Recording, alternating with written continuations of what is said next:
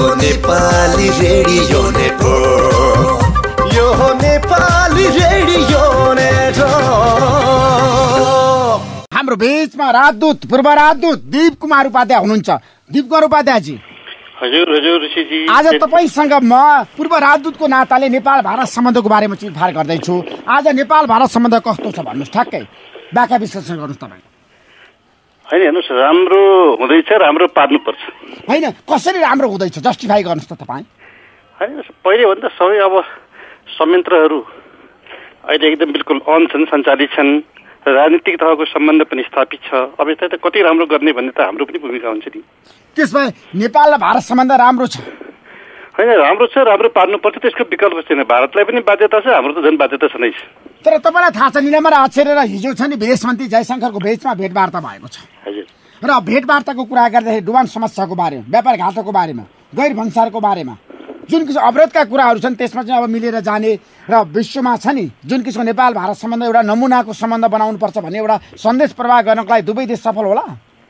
होइन हुनुपर्छ ऋषिजी हामीले हेर्नुहोस् नेपाल भारत सम्बन्धको जुन एउटा अब आफ्नै किसिमको हाम्रो विरासत छ आयाम छन् त्यसलाई बुझेर समष्टिमा नेपालले पनि आफ्नो तयारी गर्नुपर्छ। जस्तै हामीले जुन तपाईँले भन्नुभयो नि अब यो बाढीको समस्या भनेको डुबानको समस्या भनेको नेपाल र भारतको दुवैको एउटा चाहिँ संयुक्त तपाईँको चिन्ता चासो प्रत्येक वर्ष एउटा अभिशाप बनेको छ पानीको प्रबन्धन नभएर। त्यसलाई प्रबन्धन गर्यो भने दुवैतिर स्वर्ग हुने हो। त्यसलाई ध्यान दिनुपर्छ।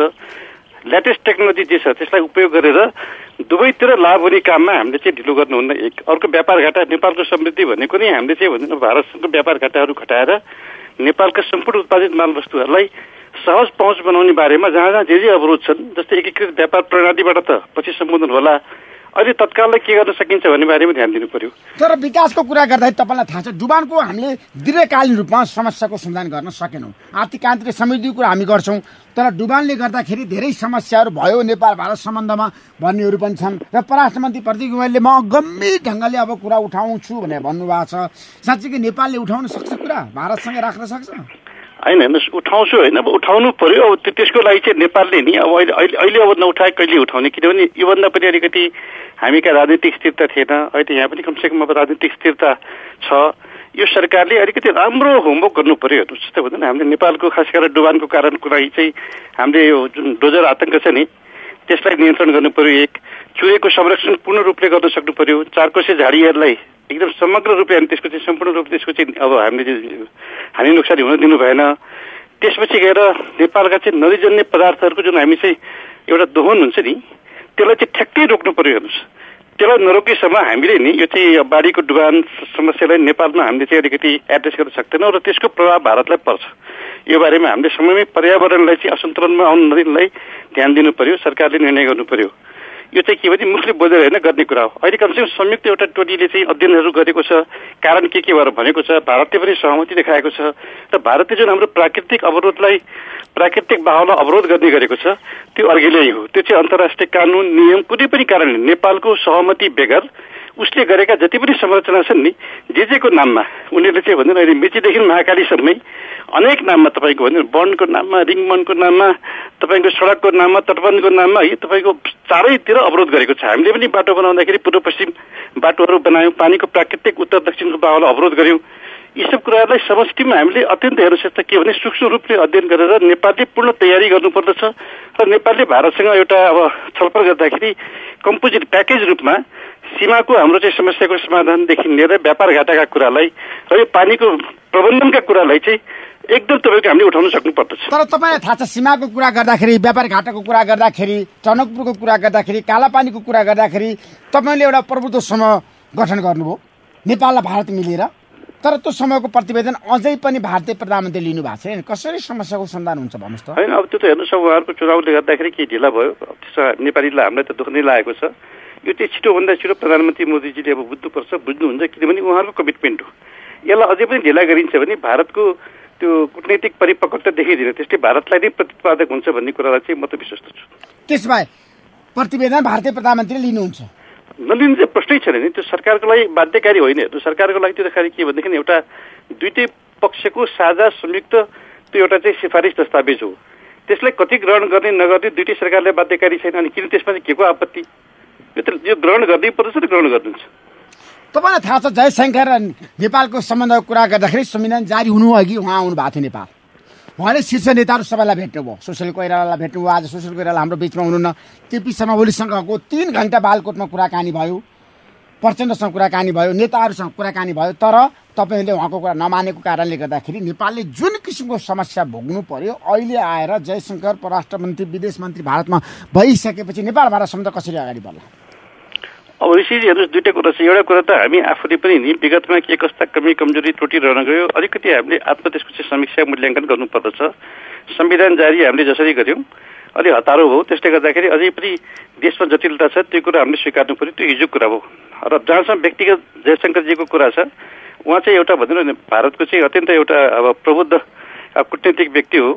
उहाँले खास गरेर अब अमेरिकाको सम्बन्धमा चिनको सम्बन्धमा र छिमेकीको सम्बन्धमा पनि उहाँको चाहिँ गहन अध्ययन छ। पहिले मलाई पनि त्यस्तै लाग्थ्यो। यसो उहाँको चाहिँ बानी बेहोरा हेर्दाखेरि पछि गएर कुराकानी हुँदाखेरि अत्यन्त सुल्झेको मानिस हुनुहुन्छ र उहाँले अहिले जिम्मेवारी पाउनुभएको छ। हामीले त्यसमा खुसी भन्नुपर्दछ र व्यक्तिगत रूपबाट उहाँले नै कुनै किसिमको पूर्वाग्रह राख्ने होइन राख्नुहुन्न। हामीले पनि राख्न आवश्यक छैन। अब त हामीले के भनेदेखि आजको सन्दर्भमा नेपालले भारतसँग के के हाम्रा समस्या छन् त्यो समस्यालाई चाहिँ हामीले प्रामाणिक रूपमा अगाडि एकदम ठोस रूपबाट समाधान सहितका विकल्पहरू राखेर छलफल गर्न सक्नु पर्यो र भारतले पनि आफ्नो कुराहरू चाहिँ अब भन्दै आएको छ ती कुराहरूलाई हेर्नुहोस् हामीले कमसेकम टेबलमा अब कन्सिस्टेन्टली निरन्तरता सहित समाधानतर्फ जानुपर्छ। एकचोटि एउटा सामान्य छलफल गर्ने निर्णय गर्ने फेरि सेराएर बस्ने जुन एउटा प्रवृत्ति छ त्यसको अन्त हुनुपर्दछ। हामीले चाहिँ एउटा जे जस्ता पनि वर्क ग्रुपहरू बनाउनु पर्दछ भने नेपालका भारत सम्बन्धमा जे जति पनि हाम्रो चाहिँ ज्ञान विशारद योग्यता क्षमता दक्षता अनुभव छ।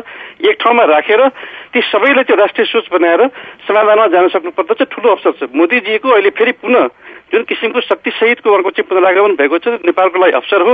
कति उपयोग गर्न सक्छौँ सक्दैनौँ त्यो हामी त्यसो भए अब नेपाल भारत सम्बन्धमा जयशङ्करको कार्यकालमा राम्रो सुमधुर र प्रकार हुन सक्छ। होइन उहाँ त हेर्नुहोस् अब परराष्ट्र मन्त्री हुनुभयो। खास गरेर प्रधानमन्त्री मोदीजी र भारत सरकारले आफ्नो जुन दृष्टिकोण बनाउँछ त्यसलाई कार्यरूपमा परिणत गर्ने व्यक्ति हो नि। त उहाँसँग हामीले हिजोका कुराहरूलाई लिएर हिजोका अलिकति भनौँ न अब केही भारतका पनि त्यसमा चाहिँ समझदारीमा कमी हो। हामीले पनि त्यसलाई अलिकति समयमै चाहिँ धेरै कुराहरू चाहिँ म्याच गर्न सकेनौँ दृष्टिकोणहरू मोदीजीको बुझ्न सकेनौँ। नेपालको संसदमा प्रधानमन्त्री मोदीजीको जुन अभिव्यक्ति थियो उहाँको चाहिँ हृदयको अभिव्यक्ति हो। त्यसलाई हामीले अलिकति हामीले बुझ्न सकेनौँ हामीले पनि म्याच गर्न सकेनौँ भने त्यो हिजो कुरा भयो। तर अब नयाँ सन्दर्भमा हामीले यी कुराहरूलाई अगाडि बढाउनु पर्दछ। नेपालले अत्यन्त तपाईँले भनिसके ठुलो अवसर छ। कति सदुपयोग गर्न सक्छौँ? यो कला हो कौशल हो चातुर्यता हो कूटनीति भनेको राष्ट्रिय स्वार्थमा नेपाली जनताले बुझ्ने गरेर परिणाम दिन सक्नु पर्यो। अब कुराकानीको अर्थ छैन परिणाम चाहिँ नेपाली जनतालाई नेपाललाई त्यसमा नेपाल सरकार चाहिँ लाग्नु पर्दछ। दिप कुमारजी अब नेपाल भारत सम्बन्धको मैले कुरा गरिरहँदाखेरि तपाईँलाई थाहा छ मैले धेरै पाटाहरूमा बहस गरेको छु शीर्ष नेताहरूसँग पनि अन्तर्क्रिया गरेको छु कुराकानी गरेको छु अन्तर्वार्ता लिएको छु। अटल बिहारी वाजपेयीले मलाई एउटा कुरा भन्नुभएको थियो ऋषि मलाई नेपाल भारत सम्बन्धको कुरा गर्दाखेरि जहिले पनि म उहाँले भन्नुभएको कुरा क्या आज हाम्रो बिचमा जसरी छन् नेपाल भारत सम्बन्धमा हामीले धेरै नेताहरूको नाम लिन्छौँ नि। तर तपाईँ एकदम भारतसँग निकट भएर काम गरेको व्यक्ति हो राजदूत हुँदाखेरि। र तपाईँले नयाँ दिल्लीमा बसेर जसरी काम गर्नुभएको थियो तपाईँ राजदूत भएर नयाँ दिल्ली पुग्दाखेरि तपाईँले विदेश मन्त्रीलाई कति महिनाभित्र भेट्नु भएको थियो भन्नुहोस् त। अब त्यतापट्टि नजाउँ त्यतापट्टि नजाउँ हेर्नुहोस् त्यो चाहिँ अलिकति अब भनिदिउँ न उहाँहरूको पनि आफ्नो तुरन्तै अब अ, भनिदिउँ न सरकार बन्यो सरकार बनेपछि अब खास गरेर विदेश मन्त्रीजी त अब संसदमा हुनुहुन्न थियो उहाँहरूको चाहिँ बल्ल बल्ल फेरि भनिदिनु संसदमा उहाँहरूको चाहिँ निर्वाचन भयो राष्ट्रिय सभाबाट आउनुभयो अब फेरि उहाँहरूको अरू पनि बिजनेस होला त्यसले गर्दाखेरि अलिकति ढिला भयो होला। त्यो छुट्टै कुरा हो तर होइन भनेदेखि अब हाम्रो नेपालसँगको नेपाल र भारतसँगको सम्बन्धमा दुईटैको बाध्यता छ विरासतको एउटा यत्रो ठुलो तपाईँको एउटा जिम्मेवारी छ। त्यो त्यो दुइटै कुरामा हेर्नुहोस् न दुवै पक्षले चाहिँ नि हामीले चाहिँ बिर्सनुहुन्न त्यस्ता त्यस्ता कुराहरूलाई हामीले चाहिँ अन्यथा लिनुहुन्न मलाई अलिकति गाह्रो थियो। तपाईँलाई थाहा छ कुराकानी गर्नु पर्थ्यो अथवा कुराकानीको कुरा गर्दाखेरि धेरै समय कुराकानी गर्नु पर्थ्यो तर दुई महिनासम्म कुराकानी भएन नि। होइन तर परराष्ट्र मन्त्रालयमा त नेपाल नेपा- नेपाली दूतावासको त सम्बन्ध भइहाल्छ नि। कारण कारणवश हाम्रो विदेश मन्त्रीजीसँग अलिकति भेटघाट गर्न समय ढिला भएको हुनसक्छ। अरू अरू सम्बन्ध दुई महिना कुर्नु पर्यो नि जयशङ्खलाई भेट्नको लागि त। होइन होइन त्यो त्यसरी त्यसरी नहेर्नु ऋषिजी। उहाँको मन्त्रालयसँग त नेपाली दूतावासको सुमधुर सम्बन्ध एक्सेस त सधैँ छ नि। त्यसमा हामीले अन्यथा सोच्नु हुँदैन। किनभने कुराकानी गर्नको लागि तपाईँलाई थाहा छ नेपालको राजदूतले अथवा भारतीय विदेश मन्त्रीसँग कुराकानी गर्नको लागि त। एक घन्टा दुई घन्टा पनि त कुराकानी गर्न सक्नुहुन्छ नि कहिले त। भेट्दा भेट्दै पनि कुराकानी हुनसक्छ तपाईँलाई थाहा होइन हेर्नुहोस् त अब अब भेटघाट भयो अब उहाँहरूको चाहिँ त्यो सम्बन्ध अब बाक्लिनुपर्छ बाक्लिने छ। किनभनेदेखि यो त हेर्नुहोस् अब जसरी हामीले अब यहाँ लैन्चो दूतावासलाई जुन किसिमको अब हामीले त्यो एक्सेस दिएका छौँ नि यहाँको राजदूतलाई भन्नु न हाम्रो अब नेताहरूले बेडरुमसम्म भेट्ने एक्सेस छ है। अब त्यो त के भनेदेखि एउटा हामीले राजनीति भनेको चाहिँ रेसिप्रोसिटी भन्छ नि। एक अर्काको चाहिँ तपाईँको भन्नु सम्बन्ध व्यवहार पनि भर पर्ने कुरा हो। नेपाल नेपाली दूतावासमा यो यो हाम्रो लैन्चो दूतावासमा कार्यक्रम हुँदाखेरि नेपाली उल्टिन्छ पल्टिन्छ। त्यो हामीलाई बडा गाह्रो छ त। केही चाहिँ एउटा सुरुवात भएको छ त्यसलाई चाहिँ मलाई लाग्दछ। हाम्रो वर्तमान राजदूत अब निलाम्बर आचार्यजी अत्यन्त एउटा परिपक्व राजनीतिक व्यक्तित्व हुनुहुन्छ। उहाँको आफ्नै किसिमको एउटा भन्नु न अब बौद्धिक अब बौद्धिक र एउटा क्षमताको चाहिँ मलाई लाग्छ कसै सकेका गर्ने ठाउँ छैन। उहाँले यी सब कुराहरूलाई चाहिँ क्यारियन गर्नुहुन्छ। हिजो अलिकति राजनीतिक तहको सम्बन्धहरू जुन मैले आफ्नो समयमा गरेको थिएँ त्यसलाई चाहिँ अगाडि बढाउनुहुन्छ। त्यसलाई हामीले शङ्का गर्नु पर्दैन मैले भारतीय नेताहरूको नाम लिइरहँदाखेरि देव कुमार उपाध्यायजी अटल बिहारी वाजपेयीको मैले नाम लिएँ। अटल बिहारी वाजपेयीसँग मैले कुराकानी गरेको थिएँ। उहाँको निधन भइसकेको छ तपाईँलाई थाहा छ। अब लालकृष्ण अडवाणीले पनि मलाई भन्नुभएको थियो। ऋषि मलाई चाहिँ नेपाल भारत सम्बन्ध राम्रो बनाउनुपर्छ पशुपतिनाथको दर्शन गर्न म आउँछु भनेर भन्नुभएको छ। होइन? भारतीय प्रधानमन्त्री नरेन्द्र मोदी आफ्नो कार्यकालमा पहिलो कार्यकालमा चार पटक नेपाल आउनुभयो। नेपाल भारत सम्बन्धमा धेरै किसिमका पाटाहरू छन्। तपाईँले हेर्नु भएको छ उहाँ पक्षहरू छन् यसको आर्थिक सामाजिक राजनीतिक कूटनीतिक सांस्कृतिक धेरै विधाहरू छन्। तर नेपाल भारत सम्बन्धमा हाम्रो अहिलेको अवस्थामा केपी शर्मा ओलीको नेतृत्वको सरकारले भारतलाई सन्तुष्ट पार्न सकेको छ समझदारी कायम गर्न सकेको छ। परराष्ट्र मन्त्री प्रदीप गेवाली कति सफल हुनु भएको छ दिप कुमार उपाध्यायजी? अब यो दुईवटा कुरा छ जस्तो हुन्छ अब यो सरकार चाहिँ अब एक किसिमले हाम्रो भन्नु नि अब नेपालको चाहिँ अब कम्युनिस्ट सरकार हो होइन? नेपाल कम्युनिस्ट पार्टीको सरकार हो। उहाँहरूका केही आफ्ना चाहिँ भन्नु नि अब सैद्धान्तिक समस्याहरू छन्। अमेरिकालाई साम्राज्यवादी भारतलाई विस्तारवादी भन्ने एउटा थिएको त्यो एउटा चाहिँ पदावली नदिएसम्म उहाँहरूको चाहिँ आफ्नो पार्टीभित्रै पनि दस्तावेज पुरा हुँदैन। र कुनै पनि अब नेताले चाहिँ आफूले चाहिँ आफ्नै अस्तित्व वर्चस्वको पनि शङ्का मान्नुहुन्छ। त्यो घेराबाट माथि उठ्नुपर्छ हेर्नुहोस्। किनभने हामीले वर्तमान संविधानलाई मानेर नेपाली जनताले नेपाल कम्युनिस्ट पार्टीलाई भोट दिएको खास गरेर प्रधानमन्त्री ओलीजीले चाहिँ विश्वास गरेको उहाँको चाहिँ एउटा राष्ट्रियताको जुन किसिमको चाहिँ कुराहरू अडानहरू भनेर देखाउनु खोज्नुभयो त्यसलाई चाहिँ मलाई लाग्छ। जनताले एकचोटि पत्याए। अब त्यो त्यो भ्रमबाट माथि उठ्नुभयो भने मलाई लाग्छ कुनै समस्या नै हुन्न होइन भनेदेखि अब हामी चाहिँ अब कम्युनिस्ट छौँ। नेपालमा उदाएको सूर्य अब अब यो चाहिँ बिस्तारै विश्वभरि उदाउँछ भन्ने किसिमको फेरि एउटा त्यो एउटा सपना पाल्नुभयो भनेदेखि चाहिँ समस्याहरू हुन्छन्। त्यसलाई दुःख मान्छन्। त्यो चाहिँ अमेरिकाले पनि दुःख मान्छ भारतले पनि दुःख मान्छ युरोपले पनि दुःख मान्छ। किनभने आज हेर्नुहोस् सम्पूर्ण विश्वमा अब खास गरेर साम्यवादको जुन किसिमको चाहिँ अलिकति डाउनफल नै छ मान्छेहरूले रुचाउँदैनन्। तर नेपालमा चाहिँ अब रुचाए त्यो चाहिँ प्राविधिक कुरा हो भन्छ नेपालको चाहिँ संविधानमा एकदम यो चाहिँ के भने लोकतान्त्रिक संविधानलाई कमिटमेन्ट गरेको भएर नेपालका कम्युनिस्ट पार्टीहरूलाई पनि जनताले चाहिँ पत्याए। भोलि अब यो त्यही किसिमको अहिले जुन किसिमको अहिले चाहिँ भन्छ नि अब विचलन हुँदैछ नि त्यो प्रजातान्त्रिक फ्रेमलाई नै चेन्ज गर्ने साम्यवादी धारतिर लाने जताततैबाट त्यसलाई सङ्कुचनतर्फ लाने किसिमको प्रयास छ। त्यसले गर्दाखेरि चाहिँ अलिकति कन्फ्युजन छ। हेर्नुहोस् चाहिँ ग्लोबल्ली यो कन्फ्युजन छ। त्यसलाई चाहिँ सरकारले समयमै हटाउन सक्यो भने हटायो भने मैले चाहिँ कुनै आपत्ति देख्दिनँ। अब हटाउन सकेन भनेदेखि हेर्नु समस्याहरू आउन सक्छ। त्यसो भए जाँदा जाँदै भारतीय प्रधानमन्त्री नरेन्द्र मोदीको नेपालप्रतिको मोह चाहिँ कायमै छ है होइन व्यक्तिगत रूपमा त मोदीजीको त हेर्नुहोस् एउटा पूर्वीय दर्शनप्रति र खास गरेर नेपालप्रति प्रधानमन्त्री मोदीजी र भारतीय जनता पार्टीको पनि जुन उहाँहरूको एउटा चाहिँ अब दार्शनिक पक्ष अब त्यो चाहिँ नेपालप्रति अत्यन्त राम्रो छ।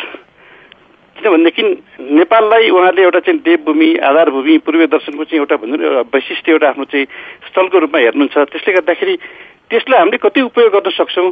त्यो चाहिँ हामीमाथि छ। हिजोका सम्पूर्ण कुराहरू बिर्सेर नयाँ अध्याय सुरु गर्ने बारेमा तपाईँलाई भने पानीको प्रबन्धन सबभन्दा मूल मुद्दा त्यसपछि गएर भन्छ हाम्रो चाहिँ तपाईँको सीमाहरूको चाहिँ व्यवस्थापन सीमाको जुन समस्या छ त्यसलाई पनि एउटा सबभन्दा ठुलो कुरो यो व्यापार घाटालाई चाहिँ नेपालको माल वस्तुहरूलाई निर्वाध रूपबाट भारतीय बजारमा जानुको लागि एक्सेसको लागि चाहिँ हामीले चाहिँ नि प्याकेजमा तयारी साथ कुराकानी गर्न अवैध भइसक्यो सुरु गर्नुपर्छ। Thank you so much Dev Kumar उपाध्यायजी समय दिनुभयो नेपाली बसलाई तपाईँलाई म धेरै धेरै धन्यवाद तपाईँलाई धन्यवाद दिन चाहन्छु। सम्पूर्णमा मेरो चाहिँ अभिवादन धन्यवाद। Thank you so much